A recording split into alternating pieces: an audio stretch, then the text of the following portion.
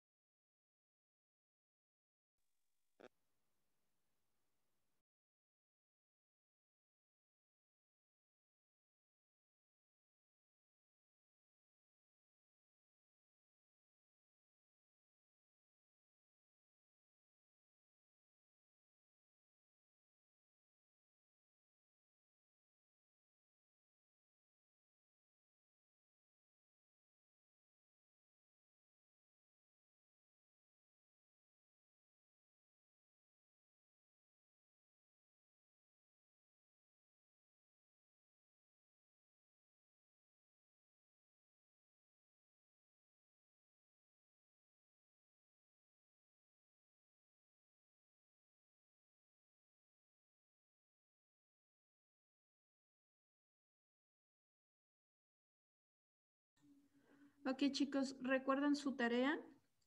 Por favor, saquen su tarea, abran su tarea. Vamos a comentar sobre esta tarea.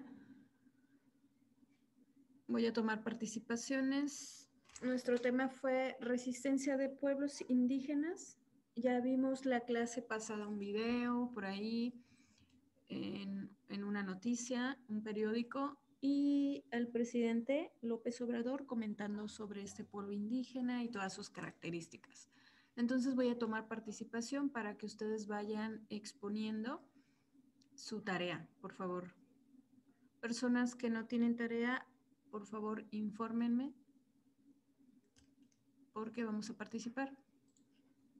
Voy a guardar mi chat. Faltan en mi sesión. Ah, ya me mandaron mensaje. Ok. Muy bien. Eh, voy a mencionarlos por orden de mis cámaras para poder participar. Tengan lista ya su tarea, por favor. Ok, Ana, ¿tienes tu tarea? Sí, maestra, sí la tengo. Ok, muy bien, te escuchamos, Ana. Eh, bueno, em, la resistencia cultural que yo escogí fue la del proyecto de la termoeléctrica de Huexca, que es relacionado a los megaproyectos de AMLO cuando entró que lo del tren Maya, el corredor eh, transítmico, algo así de, bueno, varias cosas, pero yo me enfoqué en el proyecto de la termoeléctrica. Esta afectaba a la comunidad, a las comunidades nahuas, eh, que están en los territorios de Morelos, Puebla y Tlaxcala. Ellos defendían el derecho de réplica, ya que no quieren el progreso pues insisten en la vida campesina y la permanencia de su cultura. Ok, muy bien. ¿Tenían algún nombre esa comunidad? Mm, no, solo decía comunidades nahuas. Ah, ok, comunidades nahuas. Entonces, ok, perfecto. ¿Algo más que quieras agregar? Conclusión, todos por favor vayan pensando en una conclusión. ¿Qué opinas sobre esta información? ¿Cuál sería tu opinión crítica sobre esta resistencia de culturas para pueblos indígenas? Pues creo, creo yo que están en una postura correcta, pues el, o sea, AMLO viene y quiere cambiar, o sea, su, su territorio, pues, su comunidad. Este, a lo mejor para ellos no es tan benéfico para la comunidad. Es por eso que se resisten. Ok, muy bien. Ok, Ana. Gracias por tu participación. De nada, maestra. Como participación, exposición, personas que están, no están en clase tendrán que hacer una mención de una conclusión para yo poder tomarles como participación de clase de hoy. Entonces, personas que no están presentes tienen que, aparte de subir su tarea, anotar una conclusión como participación. Ok, Ana. Ana, pásame tu apellido, por favor.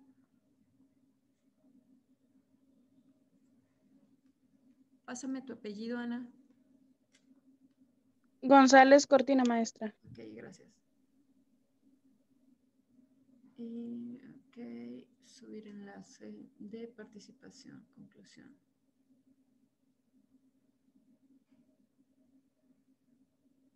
Ok, muy bien. Martín, ¿puedes continuar? ¿Tienes tu tarea por ahí? Sí, maestra, yo elegí la cultura eh, quiligua. Está representada en el fondo como es una página del gobierno que investiga acerca de las culturas y le da como propaganda para que no desaparezcan. Entonces yo encontré esta cultura que se llama Quiligua y se encuentran ubicados en Baja California y principalmente en una zona que se llama San Pedro Mártir, que es donde ellos antiguamente encontraban su comida, su alimento. Sus características principales es que eran, eran nómadas, pero la sociedad o eh, los españoles conquistadores así los transformaron a sedentarios al quedarse solamente en Baja California. Son cazadores, eso es lo que significa Quiligua, hombre cazador, y tienen una gran cultura medicinal. Eh, ¿De dónde sale el deseo de resistir? Ellos, ellos una vez comentaron un texto que se llama El suicidio de los Quiliguas, que es que decían que ya no nos, no nos vamos a reproducir más, decían ellos. ¿Para qué? Para evitar la marginación y con el interés de preservar su cultura. Los quiliguas intentan mantener la chispa de su cultura a través de compartir su lengua. Es decir, ellos piensan que compartiendo su lengua van a mantener su cultura. Y entonces crearon algo que se llama Diccionario Práctico de la Lengua, de la lengua Quiligua. Y lo que quieren hacer es darse a, conocer y sobre todo que el país reconozca, reconozca su cultura. A manera de conclusión, yo diría que cualquier cultura se resiste al cambio, pero es cierto que las culturas eh, son en sí en sí son cambios, es decir, son transformaciones o son adaptaciones. Una cultura no queda totalmente pura. Y es cierto que lo único constante que existe es el cambio. Entonces, por más que se quieran resistir a mantener su cultura, tienen que hacer modificaciones para adaptarse y sobrevivir sobre todo. Ok, perfecto. Muy bien tu participación, Martín. Eh, coincido yo con tu crítica constructiva. Bueno, en mi opinión, eh, respeto opiniones también. Yo creo que sí, un, pueblo indígena debe mantener sus raíces, sus creencias tal vez, pero estamos en un cambio evolutivo y el mundo está globalizándose, entonces pues sí debemos tomar algunos cambios para evolucionar. Gracias, chicos. Ok, eh, mis cámaras tomaron otro turno, entonces, em, Guadalupe, ¿tienes tu tarea? Estamos participando. Van a hablar brevemente de lo que investigaron sobre su tarea y al final una conclusión. La estoy buscando, profe, en el cuaderno que acabo de llegar. Ok, muy bien. Deyanira, ¿estás segundo lugar? yo elegí a los cucapas están se distribuyen en la población de Baja California y Sonora. Bien. Eh, bueno, dice que en el siglo XIX varios acontecimientos influyen en su forma de vida debido, debido a los límites fronterizos entre México y Estados Unidos. Y en 1937 la reforma agraria los integró a una vida sedentaria y disminuyó el territorio ancestral. Y pues que actualmente los cucapas se resisten al cambio y quieren mantener su cultura mediante la realización de artesanías con, que son a base de conchas de mar o huesos de animales. Y bueno, también eh, con el apoyo del gobierno. Bien. Eh, conclusión de Yanira, ¿qué podrías, qué opinas sobre este tema? Bueno, yo pienso que sí deberían de recibir el apoyo del gobierno y apoyarlos con, con sus artesanías, para, supongo que eso es lo que les ayuda a sobrevivir o que no los... Sí, eso. Ok, digamos que que los apoyen con sus eh, trabajos, artesanía, creencia, ¿tú crees que deberían de eh, realizar un cambio en su comunidad y no tener resistencia a la globalización? Pues podría ser y así adaptarse a... No sé, yo creo que si cambiaran también eso ayudaría, no sé, actualizarse o cosas así. Muy bien, gracias Dayanira. Ok, em, me parece, Jonathan, por favor, adelante. Bueno, el pueblo em, que yo escogí son los purepechas. Eh, eh, es un pueblo indígena que habita primordialmente en el estado de Michoacán, México. Ellos se resisten a cambiar a la religión principal de México y eh, mantienen su religión politeísta, en donde consideran un principio creador conformado por eh, una parte masculina, Curicaberi, y otra parte femenina, Cuerajuaperi. Ellos mantienen su idioma, el Jorge o el Purepecha en nuestro idioma, que em, básicamente en 1900, ¿cómo se dice? Este idioma en 1960 simplemente había 60 mil habitantes, el punto más bajo de habitantes que hablen ese idioma. Y con los esfuerzos de varias instituciones lingüísticas, se ha aumentado y duplicado el número de hablantes de este idioma. Eh, esta cultura ha estado en peligro de desaparecer, pero ha habido esfuerzos significativos para evitarlo. Como lo menciono, eh, ellos, su idioma era lo que principalmente estaba en peligro ya por el cambio al español, pero eh, esas instituciones han intentado y ayudado a que su idioma perdure. También eh, en lo del cambio, su idioma ha... Disculpe, viene un tren, ¿puedo pausar tantito?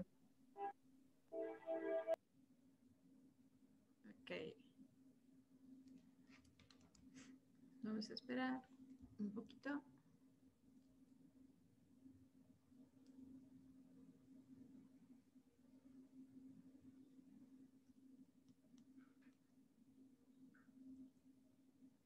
Bueno, creo que ya. Eh, sí, el idioma, idioma ha sido como estandarizado o adaptado para que concuerde con nuestro alfabeto pero también ah, existe su versión original, su versión pura, por así decirlo. Y en conclusión podría poner, que el cambio es algo que ha permitido que la humanidad y la sociedad eh, avance tecnológicamente y demás, pero no podemos cambiar o no podemos aspirar a actualizarnos sin tener en cuenta nuestras nuestra, nuestras raíces, básicamente. Tenemos que adaptarnos, pero dándole la importancia, eh, dando el lugar que se merece a nuestras culturas y nuestros pueblos originarios, porque eh, básicamente es de donde partimos todos nosotros y necesitan ser tomados en cuenta y no simplemente olvidados. Okay. Muy bien. Gracias por tu participación, Jonathan. Muy bien. Em, Martín, ¿quieres comentar? Sí, algo acerca de, lo que mencioné. Bueno, entonces yo estaba realizando una investigación y encontré que eh, existía una comunidad maya que estaba eh, siendo ayudada por el presidente Enrique Peña Nieto y en esto se encuentran a una a un integrante de esa cultura que menciona que ella quería ser eh, presidenta de la nación o quería, y otra, otra persona que quería ser ingeniera eléctrica. Entonces, yo pienso que a veces el cambio no es algo obligatorio, pero sí necesario y que la ideología del cambio pertenece más bien a los integrantes y no a la cultura. Es decir, los líderes de la cultura van a querer seguir siendo su cultura, van a seguir siendo patriotas con lo que sienten, pero no siempre deben eh, oprimir a la cultura a seguir siendo lo mismo. digamos que sea voluntario, ¿no? Quien quiera Sí. ser dentro del grupo, quien quiera avanzar y actualizarse y no olvidar sus raíces también es aceptable, pero eh, bueno, yo no realmente no conozco tantas culturas, bueno, tan a fondo como las, la estudiaste hoy, de no sé decir ciertamente o con firmeza decir que todos los líderes eh, presionan a los integrantes para que sigan sin actualizarse o tal vez existan líderes que sí les dan la opción de salir y pertenecer al, al grupo, no olvidar sus raíces, pero eh, sí creo que existan líderes que también opriman, ¿no? Entonces habría que investigar eso un poco más a fondo, pero es verdad que sí nos ayuda el evolucionar y el cambio, sin olvidar también, claro, nuestras raíces, como nosotros somos mexicanos, no olvidamos nuestras raíces, nuestros antecedentes históricos, pero vamos a ir avanzando. Tanto está que estamos estudiando y estamos preparándonos para ejercer una profesión. Ok, muy bien.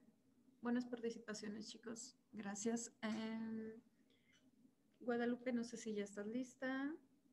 Ah, Elena, Sí, profe, ya estoy lista. adelante. Ah, sí, voy. Este. Ok, yo elegí la cultura mm, de los yaquis. Eh, son un pueblo indígena del estado de Sonora, de México. Están asentados originariamente eh, a lo largo del río Yaqui, así se le llama. Y el idioma que ellos usan es el caíta y el mayo. Usaban el tehueco, pero ese desapareció ya por completo. ¿Qué más? Su cultura, o sea, ellos hablan la lengua materna, eh, ellos usan bordados multicolores con formas florales, usa, eh, aún están sus fiestas tradicionales, eso no ha cambiado. Y todo el año con santos patronos. Lo que me interesó mucho, profe, fue su religión. Este, eso cambió a raíz de la conquista. Son como católicos, por así decirlo. Entonces, eso me sorprendió mucho porque yo creí que iban a creer en algún dios. Y, y creen en la Virgen María y Tom Aye, ellos le llaman así, que significa nuestra madre, en Jesucristo, que lo llaman Itom Achai, nuestro Padre, y la preeminencia de otras figuras como la Virgen de Guadalupe, San José, la Santísima Trinidad y los santos patronos de cada pueblo. También lo que me impactó así demasiado es que también están como creen en la religión, ay, perdón, de los testigos de Jehová. Y, o sea, lo han ido adaptando así. ¿Ellos, Ellos, resisten a cambios? Pues sí, profe, porque leí que, que cuando han intentado este, ir y enseñarles como que español o así, ellos como que se enojan y hasta había una nota, pero no le tomé captura, en donde como no les entendían porque ellos tienen su, eh, hablan así nativo, pues como que se veían exaltados y sí. Entonces llevaron a alguien profesional que hablaba así, pero no, no quisieron. Como que están cerrados a todas. Ok. Muy bien. Entonces sí presentan resistencia al cambio. Muy bien. Eh, ¿Qué opinas? ¿Qué opinas Pues- de la resistencia? Pues está bien, profe, porque, bueno, a mí, en mi opinión, está bien porque pues así han vivido y, y pues no han tenido ningún problema. O sea, sí, hay que adaptarnos al cambio, pero a, mí se me hizo muy bonita su cultura. Bien, ok. Bien, muy bien. Gracias, Guadalupe. Bien, chicos. Em, Elena,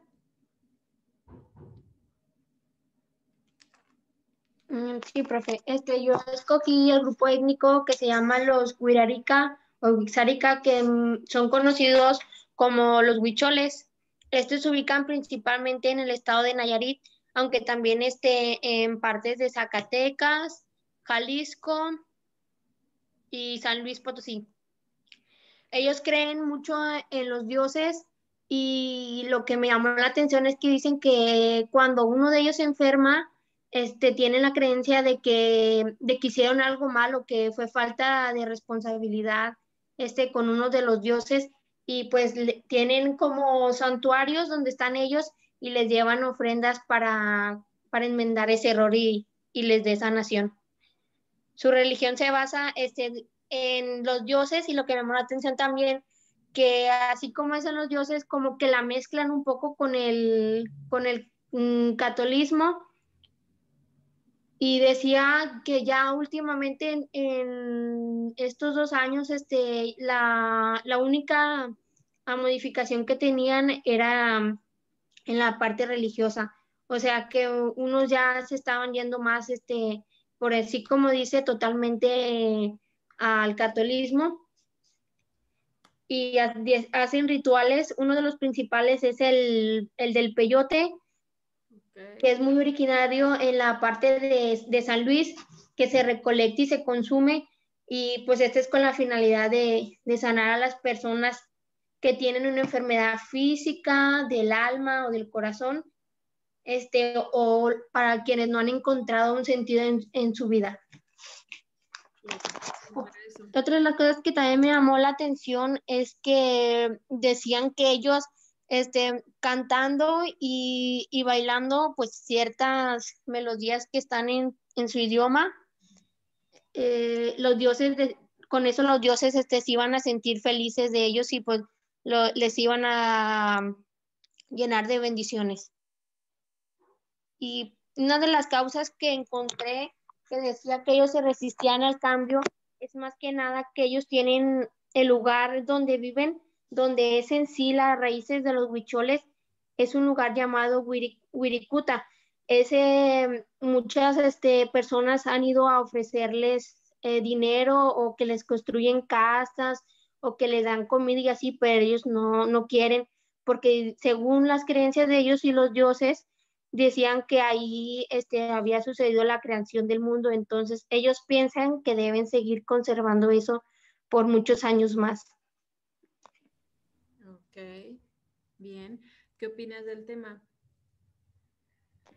Pues yo pienso que como ya, como algo que ya mencionaron mis compañeros, o sea, que sí es muy importante, o sea, guardar, que cada grupo guarde sus, sus creencias, pero sí debe de haber como un cierto cambio, como en este que, eh, eh, grupo que investigué, es como, por ejemplo, los niños no tienen, o sea, escuelas, como casas, y, me pongo a pensar con este, a ver, con este frío que hace, cómo se han de cubrir, o sea, si han de sufrir mucho y siento que pues por esa parte sí deberían de, de hacer cambios. Que algunos cambios sí son necesarios para nuestra integridad. Sí, claro que sí. Ok, muy bien Elena, gracias. Eh, Samantha. Adelante, Samantha. Sí, maestra. Yo investigué sobre los vacas. Son, son cazadores recolectores. ¿Cómo se llaman? Son pigmeos. Son los vacas. Vacas, ok. llamados pigmeos vaca. Se localizan en la selva de África Central. Ellos no quieren cambiar porque son discriminados por su por su estatura, miden 1.5 metros. Y cuando ellos se quieren integrar a las sociedades, pues son discriminados. Esa es una de las, de las cosas por las que no quieren cambiar. Este, aunque se vuelven, se vuelven un pueblo más sedentario debido a la deforestación de la selva tropical, también porque son presionados por sus por sus vecinos otra, otra pueblo indígena que se llama los Buntúes. Y gracias a ellos pues se están frenando, pero ellos sí quieren avanzar porque están sufriendo mucho por la deforestación. Decía que según una organización estaba luchando contra los derechos de los indígenas por, por el territorio y su lengua su lengua es la vaca también. Me impresionó mucho su, su cultura. Bueno, viven en chozas, pero decía sobre su, su, su religión que, que creían en el poder de la corteza del árbol y en la metamorfosis. Adoraban a, a Comba, que creen que él es el Dios por encima de todo. También eh, adoran el espíritu del bosque, llamado Eyengi, porque ellos, ellos tampoco quieren un cambio porque defienden mucho lo que es todo, todos los árboles, todo el bosque, y no quieren que, que acaben con ellos como lo están haciendo con la deforestación o los incendios que, que han ocurrido. Ellos luchan mucho por, por mantener a su Dios, porque ellos creen en, en, el, en los árboles, en el bosque. Todo eso hacen que no quieran moverse de ese lugar. ¿Qué opinas sobre el tema de la resistencia? Pues que sí debemos, sí ellos deben de cambiar, pero eso no, el cambio no va a impedir que sigan teniendo sus costumbres y su lengua, solo es de adaptarse a la nueva sociedad, pero también influye mucho que en esta sociedad no haya discriminación, que es por lo que ellos no quieren cambiar. Okay. Aquí eh, digamos que ellos presentan discriminación, por eso les impide el cambio o les provoca miedo, tal vez, ¿no? Ok. Sí. Gracias, Samantha. Eh, ¿Falta Sonia nada más? ¿Me parece? Creo que sí. Sonia, adelante, por favor. Okay. Ah, yo escogí, bueno, a mí se me hizo muy interesante sobre los papagos. Ah, ellos son de Sonora. pues bueno, ellos hace en el siglo XVII los españoles trataron de arrancar, de invadir el desierto de Sonora. Entonces, a causa de todo eso, ah, les gustaba el desierto porque ahí podían cosechar todo lo que ellos querían, aunque no entiendo por qué, pero les gustaba ahí. Ah, entonces los españoles en, en el siglo XVII ah, arrancaron ese tipo de, ese tipo, esa tierra, entonces ellos tuvieron que emigrar a Arizona. Entonces una parte se quedó en Sonora y en otra en Arizona. Y debido a esto, pues casi la comunidad quedaron muy como frágiles, por decirlo así, porque no podían seguir con sus tradiciones y todo ese tipo de cosas, como su comunidad estaba separada, ellos querían que toda su comunidad estuviera junta. Así es que pues por general casi todos trataron de emigrar otra vez a Arizona para que allá se pudiera a, seguir con las culturas. Y una parte se quedó aquí en Sonora, pero no, no son muy conocidos ya ahorita, o sea, ya se, se esparcieron un poco más. Y ellos le rendían pues cultos a San Francisco Javier. Y después de un tiempo los franciscanos interponieron a su patrón, a San Francisco de Asís, entonces así se quedaron y simplemente les rinden cultos a esos dos personajes. Y también festejan el Día de Muertos, también a Semana Santa con cristianismo, o sea, como que revuelven un poco de, de religiones tanto como cristianas con católicas. Ok, muy bien. ¿Qué opinas sobre este tema, Sonia? Pues que qué mala onda de los españoles. y, que, pues, aunque les quitaron el, el territorio a ellos, siguieron, ellos no se detuvieron a nada, ellos siguieron con su cultura a pesar de que ya era muy poca la población y gracias a, e, eso de que esos pocos prevalecieron, ah, pudo hacerse otra vez su, su tribu un poco mayor después de eso. Creo que ahí se nota de que querer es poder. Querer es poder. Ok, muy bien chicos. Eh, me parece que está más que entendido este tema de, bueno, llegamos a este tema de, desde la diversidad en el trabajo, que ya debe de existir, hablando de un concepto de globalización y de cultura organizacional, también un concepto importante. Y llegamos hasta la, resistencia en diversos pueblos indígenas que aún eh, tienen pues temor al cambio, ¿no? Y quieren o creen que perderían sus creencias y raíces si totalmente se abren a la transformación. Ok, ¿alguien falta de los que están presentes de participar? A mí me parece que ya pasamos todos. Ok. Muy bien, vamos a ver un concepto importante, ya nos quedan muy pocos minutos, pero vamos a ver un concepto importante y por favor hay que estudiarlo porque necesito al salir de esta clase poner un ejercicio con esta materia para que lo vayan em, elaborando. Les voy a dar de uno a dos días para que lo puedan elaborar. Es con respecto a lo que hemos visto nada más, ¿ok? Entonces, eh, por favor, Título, Globalización en el mundo actual. Ese es el título. Globalización en el mundo actual. Globalización en el mundo actual y voy explicando. La globalización es un fenómeno eh, moderno, un concepto moderno y se refiere a una, una unión de varias sociedades mundiales, globalización internacionales, son sociedades internacionales en un mercado mundial. Entonces, globalización se refiere a sociedades internacionales y mundial. Habla de, del mundo, el cambio de las sociedades dentro de, del mundo. ¿Ok? Hay diferentes posturas, como las, las que acabamos de mencionar, bueno, las que acaban de mencionar ustedes con respecto a favor y en contra de que debemos cambiar, algunos deben mantener sus raíces y tradiciones, creencias, cultura, etc.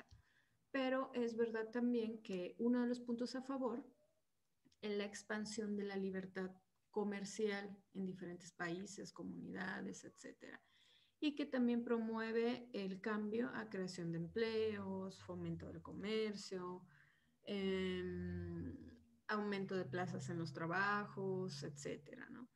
También podremos encontrar algunas posturas en contra con respecto a lo que algunos de, ustedes han mencionado, se pierden tradiciones, culturas, creencias o hay discriminación, etc. En sí, entonces, anoten como concepto de globalización. Es un fenómeno moderno, es un fenómeno moderno que se lleva a cabo es un fenómeno moderno que se lleva a cabo en la unión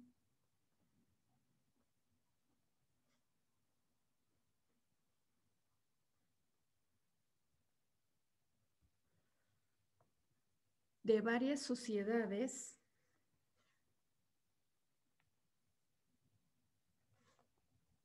internacionales.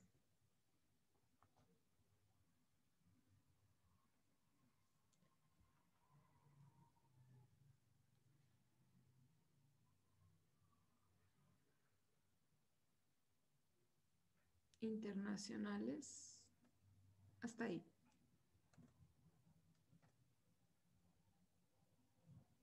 Hasta ahí, por favor. Ok. Nos ponen un ejemplo claro sobre cómo influye en la cultura, en la cultura estos cambios. Recuerden que los cambios de la globalización también eh, son conocimientos, tecnologías, por ejemplo, las TICs, etcétera. Ponen un ejemplo muy claro y nos dice, el ejemplo más claro que podemos eh, analizar es la influencia de la cultura que consiste en la, en la, expansión de varios idiomas. Por ejemplo, el idioma más, pues más básico que ya debemos nosotros aprender es el inglés. Y debido a muchos de estos productos, ya, por ejemplo, las máquinas o el software ya vienen en inglés, hasta los videojuegos en inglés, dispositivos electrónicos, etcétera. Entonces, este es un claro ejemplo de que va evolucionando y nosotros empezamos, debemos empezar a adaptarnos y aprender cosas nuevas, expander nuestro conocimiento. Y uno de los ejemplos, pues, es el idioma inglés, que ya viene en diferentes dispositivos que utilizamos, libros, etcétera. La tecnología, anoten por favor, es como punto importante de la globalización. La tecnología ha fungido como principal vehículo de la globalización. La tecnología ha fungido como el principal vehículo de la globalización. Hasta ahí. Los celulares, señales de radio, televisión. Comenten ejemplos, chicos, que han visto ustedes que ya eh, introduzca el idioma inglés, aparte de lo que he mencionado. ¿Puede repetir lo último, maestra, por favor? Mm, la tecnología ha fungido como el principal vehículo de la globalización. Gracias. Ok.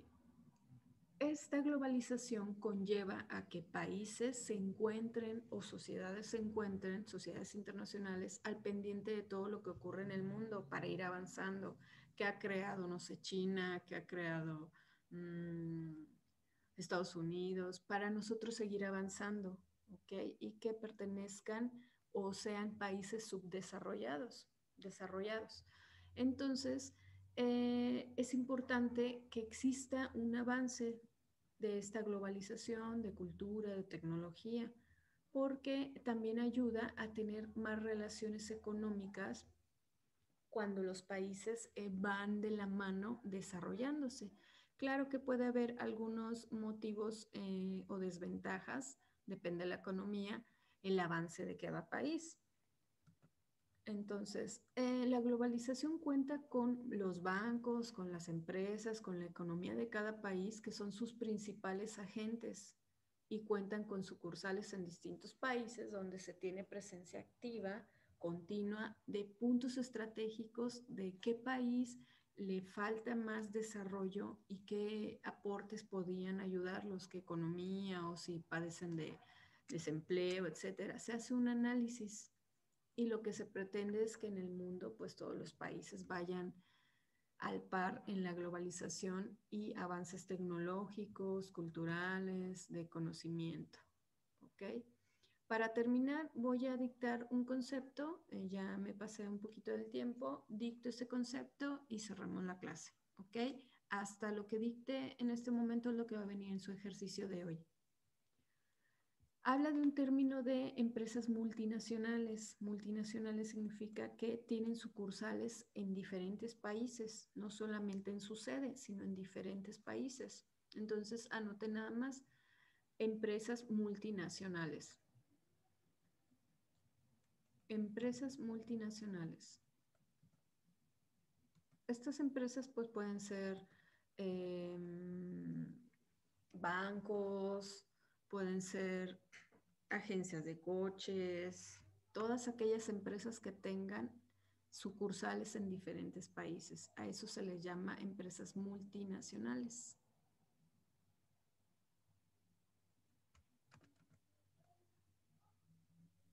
Maestra, le quería preguntar algo. Ah, cuando no me acuerdo si me anoté en el chat luego, luego, pero se me fue el internet y me salí, no me acuerdo si me anoté. Ahorita me acabo de anotar. Anótate, yo lo guardo. Ok, dicto nada más esto y nos vamos.